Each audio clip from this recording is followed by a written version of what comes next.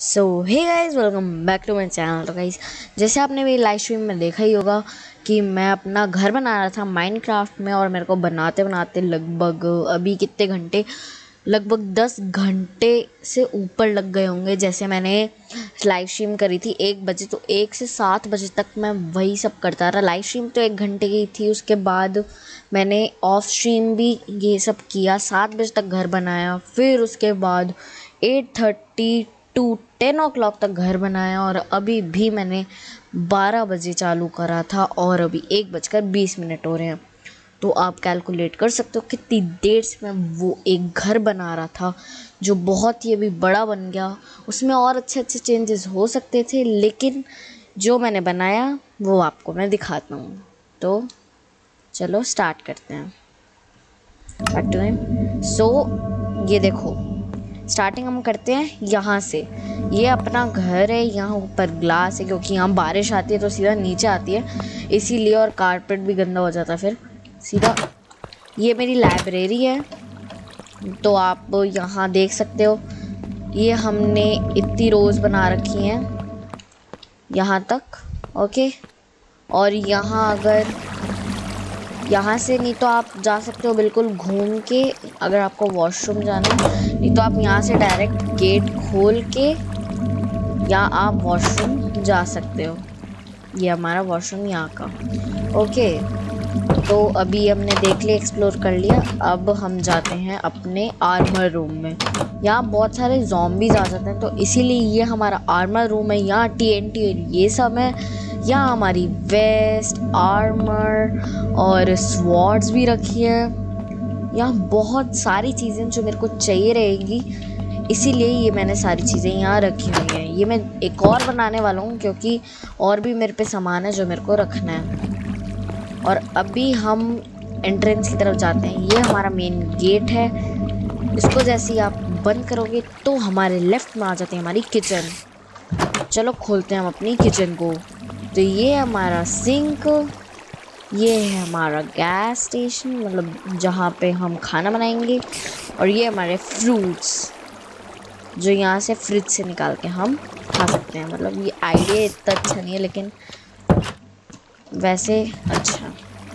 और ये मैंने वॉश बाथरूम और टॉयलेट अलग अलग किए यहाँ पे है हमारा वॉशरूम और यहाँ पे हमारा हाथ धोने के लिए ओके तो वापस खोलते हैं अपना गेट बंद करते हैं। और ये हमारा मेन एंट्रेंस जो मेन हॉल है, ठीक है? ये हमारा टीवी पीछे इतनी बड़ी हमने पेंटिंग लगाई हुई है, ओके? ऊपर ये कुछ ग्लास सा ऐसे बना हुआ है। ये हमारा काउचेस जहाँ हम बैठ सकते हैं, जिसको हम सोफा भी बोल सकते हैं। ये हमारा स्विमिंग पूल देखो, जहाँ हम नहा सकते हैं। तो ये हम और यहाँ से पानी भी नहीं आता। ये अच्छी बात है हमारे स्विमिंग पूल की। ये हमारा वॉशरूम और अभी बेडरूम की तरफ़ भी चलते हैं। तो ये मेन एरिया हो गया। ओके अब यहाँ से हमारा बेडरूम चालू होता है। ये हमारा बेडरूम है, ये हमारा टीवी लगा है। ऊपर एक्वेरियम बना हुआ है हमारे बेड के ऊपर। ओके और यहाँ कुछ लाइट्स लगी हुई हैं। यहाँ हमारा बेड है जहाँ हम सो सकते हैं। ये हमारा वॉशरूम अब हम चलते हैं घर के बाहर। अब हमने घर के अंदर तो देख लिया, लेकिन ऊपर जो हमने एक और रूम स्पेशल बना रखा है, वो भी मैं आपको दिखाता हूँ। वो अगर, ये देखो, यहाँ से होती है उस रूम की एंट्री आप यहाँ से, और देखो, आप मस्त यहाँ से, ये हमारी एंट्रेंस है।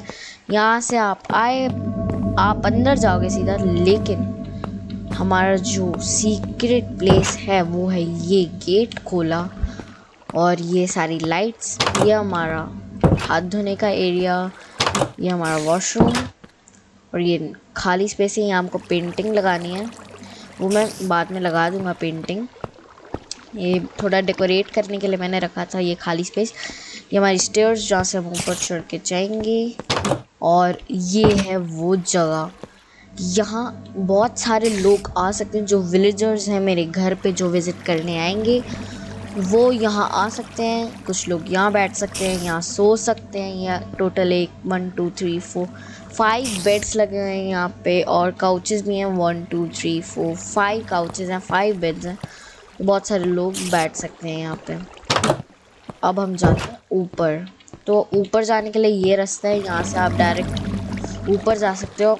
और जिसको नीचे सोने का मन नहीं है या फिर उसको ऊपर कहीं घूमना है तो वो यहाँ पे आ सकता है। और यहाँ से अगर आप राइट मुड़ते हो तो हमारा रूम आ जाता है एक येरा, जो ये बंदा भी है एक हमारा रूम में, जो अगर वो सोए और उठे तो उसको डर लग जाएगा। लेकिन यहाँ पे पेंटिंग्स हैं थोड़ी, और बाकी है लाइट और इसका ही वॉशरूम है इधर। ये रहा हमारा वॉशरूम पूरा। अब हम जाते हैं यहाँ देखने। तो यहाँ से आप साइड व्यू देख सकते हो, लेकिन अगर आप सामने ही चले गए तो आप गिर भी सकते हो। तो यहाँ पे हम जल्दी से एक बार ये भी लगा देते हैं इस साइड व्यू के चक्कर में कोई गिर ना जाए और कोई भी आया। ओके अब हम नॉर्मली फिर से जाते हैं। यहाँ पे हमारी स्पाइडर है और यहाँ जाना मना है, इस जगह पे जाना मना है, इसीलिए हमने इस जगह को कर रखा है ब्लॉक विद आइस लेकिन हम इसको यहाँ से भी ऐसे ब्लॉक कर देते हैं।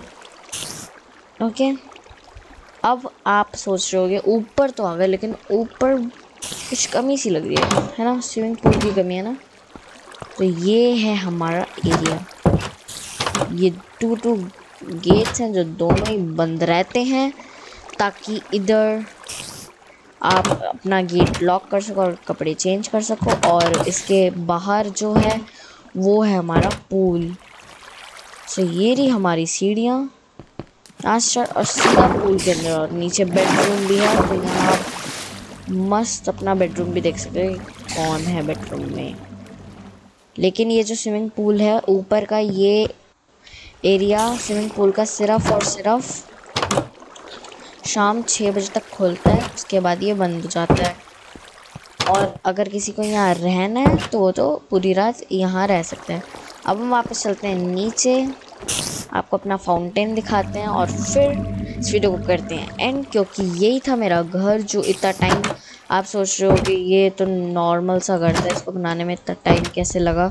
लेकिन जो लोग माइनक्राफ्ट खेलते हैं, ऐसे घर बनाते हैं, उनको पता होगा कि कितना टाइम लगता है। तो शिट हम नीचे क्यों आ गए और हमारा रॉकेट भी है जो मेरे पीछे अभी लगा ही हुआ है लेकिन वो आपको दिखा नहीं सकता, क्योंकि ये एफ़ मोड है। सो रॉकेट जल्दी से एक्टिवेट करते हैं हम अपना, एक सेकंड लगा के। तो रॉकेट हो गया हमारा एक्टिवेट अब आप देखो, जो हमारा फाउंटेन है ये हमारे घर का है एरिया ओके यहाँ था हमारा स्विमिंग पूल जो ये आप मेरा क्रॉस बार देख रहे हो एरो ओके यहाँ था हमारा स्विमिंग पूल तो मैंने क्या किया? स्विमिंग पूल से एक रास्ता निकाला पानी का, और ये देख देखो मैंने ऐसी जगह घर बनाया जहाँ इतना ब्यूटीफुल फाउंटेन है, और हमारा घर बिल्कुल टॉप ऑफ़ द हिल पे है. यहाँ इस घर के नीचे कुछ भी नहीं है, लेकिन बहुत अच्छी यहाँ पे जगह थी। पहले मैंने सिर्फ़ ये वाला पोर्शन बनाया था जो आप देख सकते हो, जहाँ पे पानी पानी है और कुछ भी नहीं बनाया था, लेकिन अभी देखो कितना बड़ा घर है। और वहाँ पिरामिड भी बना दिया मैंने लाइट से।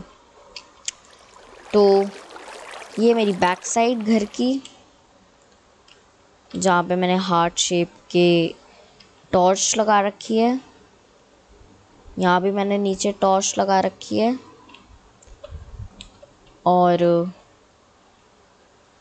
ये साइड एंड यही था। बस यहाँ पे एक चीज़ मेरे को करनी थी, जो है ये। ये। अच्छा यहाँ पे मैंने ब्लॉक नहीं करा सॉरी तो अभी मैं ब्लॉक कर देता हूँ। जो साइड से ऑकवर्ड सा लग रहा है ये ऐसे। नहीं, बस यहाँ से ब्लॉक नहीं करना